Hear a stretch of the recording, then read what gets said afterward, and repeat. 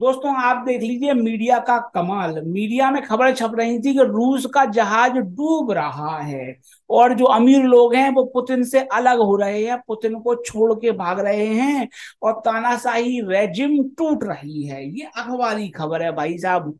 रही बात पूछ कटी छिपकली जेलेंस की भड़बड़ा के पूरी दुनिया में घूम रही है। जी सेवन में चले गए, फ्रांस के विमान में बैठ के।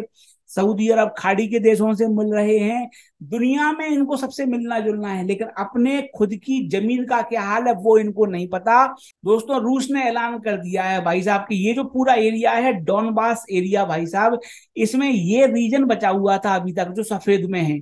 इस एरिया को कब्जा करने की राह में रोड़ा था बाकमुट और भैया जी उसी पर कब्जा हो गया है।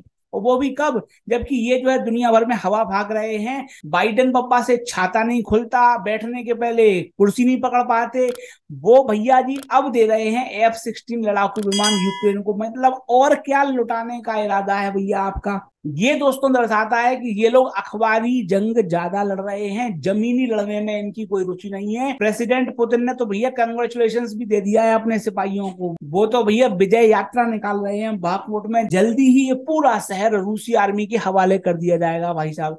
वो पुतिन साहब हैं, नेहरू नहीं है भाई साहब। नेहरू नहीं है तो आप नेहरू की अपेक्षा भी मत करो। पुतिन साहब से भैया करते रहोगे तो युद्ध के मैदान में मार खाते रहोगे हमेशा। रही बात यह कि जेलेंस्की साहब अभी भी कहते हैं कि रूस को हम पीछे हटा देंगे।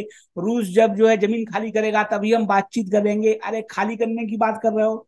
वो तो लगातार आगे बढ़ते चले जा रहे हैं। पुतिन साहब ने इतनी कुर्बानियाँ दे के ज़मीन पर कब्जा किया है। इसलिए जिस ज़मीन पर उन्होंने कब्जा किया है, उसे वो सिर्फ़ बातचीत करवाने के लिए, युद्ध रखवाने के लिए खाली नहीं करेंगे।